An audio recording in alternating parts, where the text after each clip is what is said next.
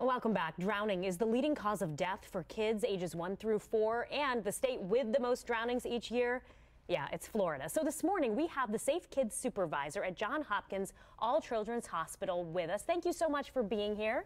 Thank you for having me. And you are teaming up with the Clearwater Fire and Rescue for an important event. We're talking a free giveaway here. Tell us what's going on. So we are giving life jackets tomorrow because spring break is starting for many counties in the Tampa Bay area. And we are uh, giving them a way to make sure children are safe. And one of the things that families may want to look at when purchasing life jackets or when they are coming to us that they are U.S. Coast Guard approved life jackets. Okay. Because and that is marked, you know, if we want to show people, it's, sure. it's right in the back. Mm -hmm. It's mm-hmm. pretty clear. So you do want to look for that. Absolutely, because so many families have life jackets that they think are okay, but looking for the U.S. Coast Guard approved is the key to that.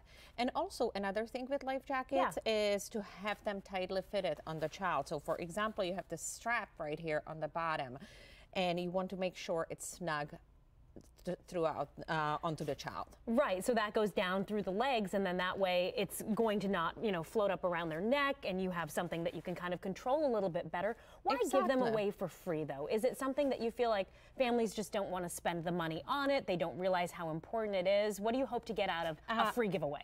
We are hoping that families will truly use them as a tool, an appropriate tool, because I think, uh, I believe that sometimes families may not think about how important it is, or when they're visiting from other states, they mm -hmm. may mm-hmm. not have them. We are just hoping to save lives to give them away. I know. I feel like every every holiday, especially or vacation, I feel like we end up covering a horrible headline in the news of somebody visiting who ends up drowning. You know, it's just it's awful. So when it comes to what people do and don't know.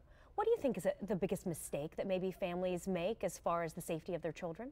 So, for example, when it comes to their homes, especially right now after a hurricane, what yeah. is very, very important is to have functioning, not broken barriers. And you can imagine how many fences were taken down by the winds and stuff. And it sure. might be a burden on families to repair them. But it, when they have a pool, it is very, very important to uh, repair those fences or uh, prevent any access of any child from the pool. The other thing is that we hear a lot in the community is that um, my child can swim, I don't have to watch them mm -hmm. necessarily. And we have water watcher badges, and we say even if they are over the age of 10 and on a swim team, yeah. Uh, please watch them at all times because kids can bump their heads, etc.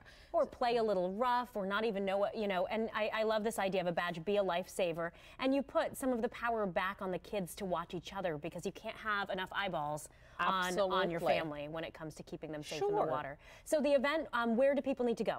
Uh, uh fire station uh, 46 yep. on Clearwater Beach. All mm -hmm. right, and that starts tomorrow? Tomorrow at 10 a.m. Perfect. Good information. Thank you. It's so important. So definitely everybody keep an eye on those kids and look for that Coast Guard seal of approval. Thanks so much for being with us Thank you.